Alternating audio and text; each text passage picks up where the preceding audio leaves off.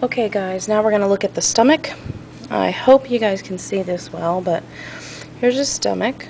Okay, so the stomach is um, starts here and goes to here. Food enters up here through the esophagus, coming down through the diaphragm, and it's going to enter the stomach, travel through the stomach, and leave the stomach through the duodenum, which would be right here.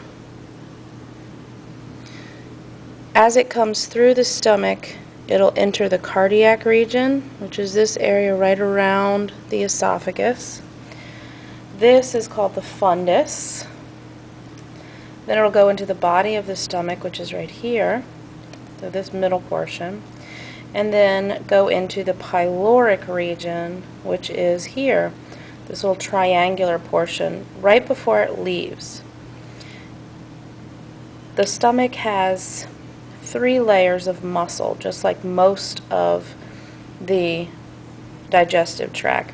You can see the longitudinal muscles here, the circular muscles here. Actually, I'm sorry. The rest of the digestive tract only has the longitudinal, the outer longitudinal, and the inner circular muscles. The stomach is unique because it has a third layer, these muscles here, which are oblique.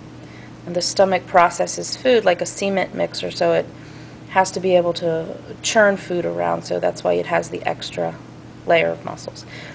This yellow portion is all parts of the vagus nerve that's innervating the stomach.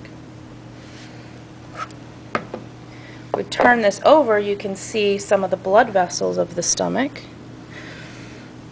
This part of the stomach is called the lesser curvature and you'll have a fatty apron that hangs off of this called the lesser omentum.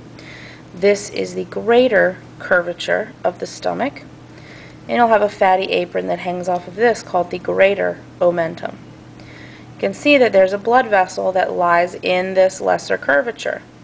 There's also a blood vessel that lies in the greater curvature. These blood vessels come from the originally from the abdominal aorta. These are actually two vessels that are anastomosing together with each other. On this side of the stomach, where you have the esophagus, this portion of the artery is called left gastric artery.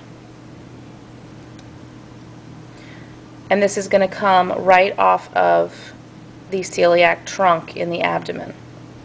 This portion of the artery on the pyloric region is called the right gastric artery. Right gastric is going to come off of common hepatic artery and anastomose with left gastric. So you can feed the whole greater curvature. These two vessels down here are called gastro-omental vessels. On the esophageal side, that's left gastro-omental. Okay, and this one is going to come off of splenic artery. And on the pyloric side, this is right gastro-omental artery. And this is going to come off of gastroduodenal artery that comes off of the common hepatic artery. If we open the stomach up,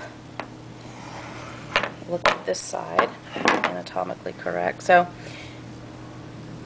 Here's the esophagus.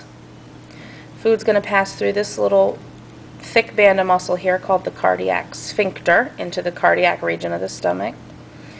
These folds on the inside of the stomach are called rugae. So this is the fundus here, this is the body. This would be the pyloric region. You can see there's rugae all along. This allows the stomach to expand. And right here as food is exiting the stomach, it will go through this very tight muscular sphincter called the pyloric sphincter. It's very, very tough, and you can see this on the cadaver very well. And then food will exit here, and this is the very beginning of the duodenum. I think that's it for the stomach. Okay, I wanted to show you this stomach too because it has those fatty aprons I was talking about. So this is the lesser curvature of the stomach. This is the greater curvature. Here's the esophagus, the pyloric sphincter. This would be the lesser omentum.